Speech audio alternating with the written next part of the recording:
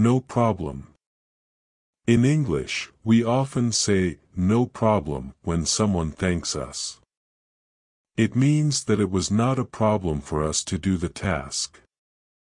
For example, if your friend says, thank you for helping me with my homework, you can reply, no problem, I'm glad I could help.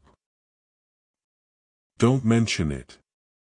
This phrase is another way to respond to thank you. It suggests that the help you gave was so small that it doesn't even need to be mentioned.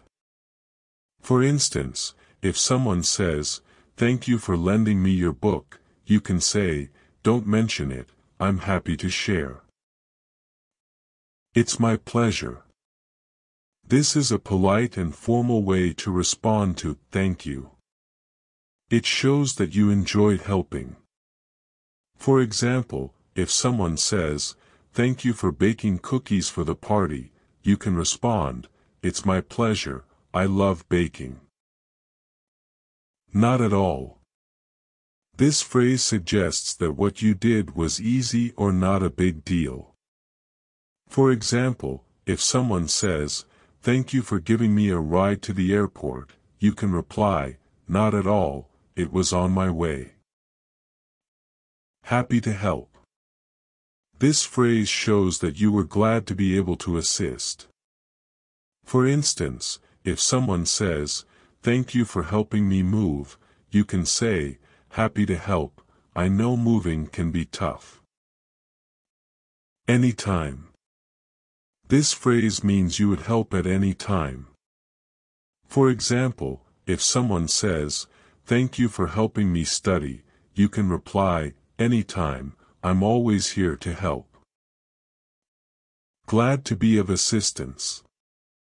This is a formal way to say you're happy to help. For instance, if someone says, thank you for your advice, you can say, glad to be of assistance, I'm always here if you need advice. Of course. This phrase shows that you are more than willing to help. For example, if someone says, thank you for picking up my mail, you can reply, of course, it was no trouble at all. Think nothing of it. This phrase means that the help you gave was not a big deal.